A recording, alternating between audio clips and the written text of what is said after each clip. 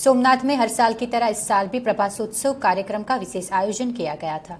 गुजरात राज्य संगीत नाटक अकादमी, गांधीनगर संस्कार भारती, गुजरात प्रांत और सोमनाथ ट्रस्ट के संयुक्त उपक्रम से चौपाटी गार्डन सोमनाथ में यह कार्यक्रम का आयोजन किया गया था। कला साधकों ने संगीत, नृत्य, गायन के त्रिवेणी संगम के साथ सूर आराधना की थी। शनिवार को प्रतिपदा सूर्योदय के वक्त सूर्य की प्रथम किरणों के साथ ही सोमनाथ तीर्थधाम में सूर्य की किरणों का स्वागत शुरू से किया गया था। गोकुल धाम में विशेष पूजा में विग्रह पूजन विष्णु याग और पादुका पूजन समेत धार्मिक कार्यक्रमों का भी आयोजन किया गया था। प्रातः काल को भगवान श्री कृष्ण को प्रिय गोकुल धाम तीर्थ में ध्वजारोहण उत्सव किया गया। सोमनाथ यूनिवर्सिटी के छात्रों के द्वारा गीता मंदिर में सामूहिक गीता पाठ किया गया था। साथ ही गुजरात राज्य संगीत नाटक अकादमी गांधीनगर संस्कार भारती गुजरात प्रांत और श्री सोमनाथ ट्रस्ट के संयुक्त उपक्रम से रास गरबा श्री कृष्ण संकीर्तन का भी आयोजन किया गया था शाम को श्री कृष्ण चरण पादुका जी की सहस्त्र दीपों के द्वारा सामूहिक आरती की गई थी કસ્તુરી તિલકમ કૃષ્ણવંદના અને શિવવંદનાની અદ્ભુત રજૂઆત આ કલાકારોએ આ મંચ ઉપરથી રજૂઆત કરી એમની આ કલાકારોને આપણે અભિવાદન કરી રહ્યા છીએ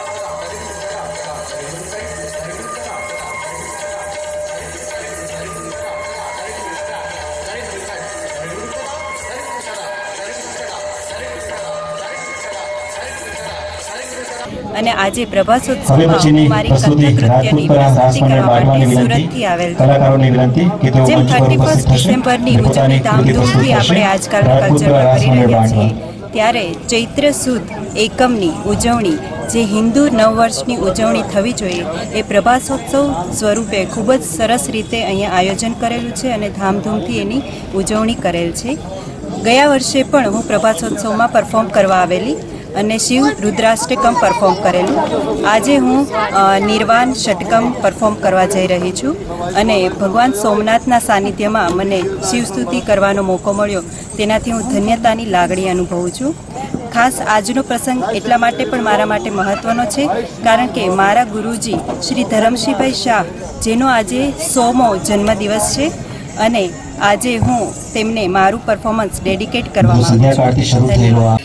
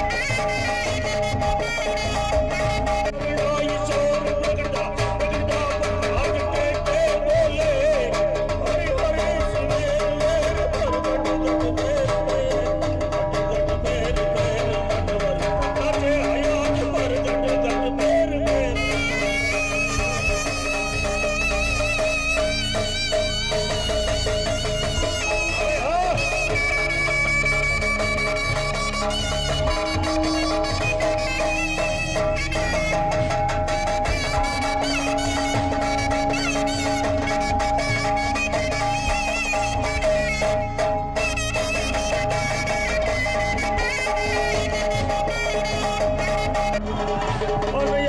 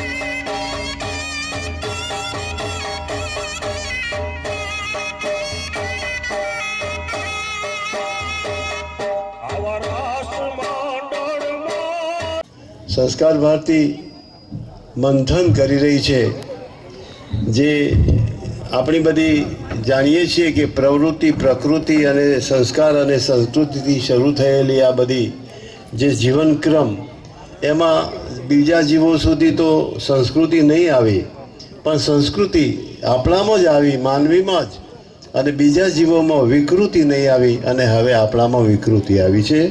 અને વિકૃતિની સામે લડવા માટે એને ખાળવા માટે, એને દૂર કરવા માટે, વડીલો સુધી જઈ અને એમને જગાડવા માટે અને નવી પેઢીને આમાં ભેળવવા માટે અમે સતત પુરુષાર્થ કરીએ છીએ.